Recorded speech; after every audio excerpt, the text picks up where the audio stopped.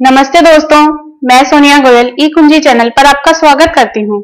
मैं एक ब्यूटिशियन और आयुर्वेद स्कॉलर हूँ। ब्रेस्ट साइज़ यानी स्तनों का साइज़ कम करने का एक बहुत ही इफ़ेक्टिव घरेलू नुस्खा, अदरक और शहद से बनाना आज मैं आपको बताने जा रही हूँ। तो दोस्तों, आइए देखते हैं कि ब्रेस्ट साइज़ यानी कि स्तनों का साइज़ कम करने के लिए हमें अदरक और शहद को यूज़ कैसे करना है। इसके लिए आपको कद्दूकस की हुई एक चम्मच अदरक लेनी है और फिर इसे लगभग एक कप पानी में डालकर उबालना है। इस अदरक वाले पानी को मीडियम आँच पर करीब 10 मिनट तक उबलने दीजिए, ताकि अदरक के सारे गुण इस पानी में आ जाएँ।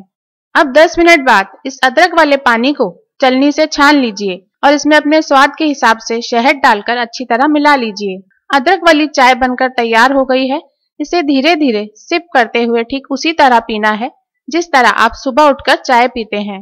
अदरक की ये चाय ना तो ज़्यादा गर्म होनी चाहिए और ना ही एकदम ठंडी होनी चाहिए। ये ऐसी होनी चाहिए कि इसे आराम से पिया जा सके।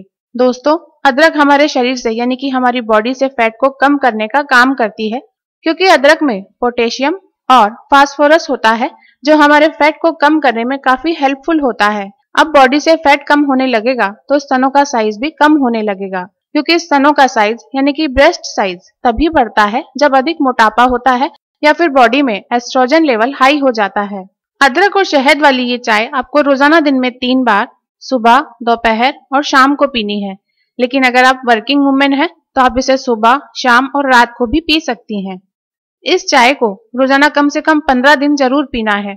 पंद्रह दिन बाद आप एनालिसिस करें, जब पंद्रह दिन में आपको महसूस होने लगे कि इस होम रेमेडी से आपको फ़ायदा होने लगा है, तब आप इसे अपनी ज़रूरत के हिसाब से पंद्रह दिन के बाद आगे भी कंटिन्यू कर सकती हैं, ताकि आप मन चाह ब्रेस्ट साइज़ अचीव कर सकें। ब्रेस्ट साइज़ कम करने का इतना सरल घरेलू नुस्खा ज़रूर यूज़ करके देखिए। आप सभी स्वस्थ रहें और खुश रहें, ऐसी विशेष के साथ अब मैं विदा लेती हूँ। अगले एपिसोड में आपसे फिर मुलाकात होगी। दोस्तों, हमारे इस चैनल को सब्सक्राइब कीजिए और फिर इस बेल आइकन को क्लिक कीजिए, जिससे हमारा नया वीडियो आप तक सबसे पहले पहुँच सके।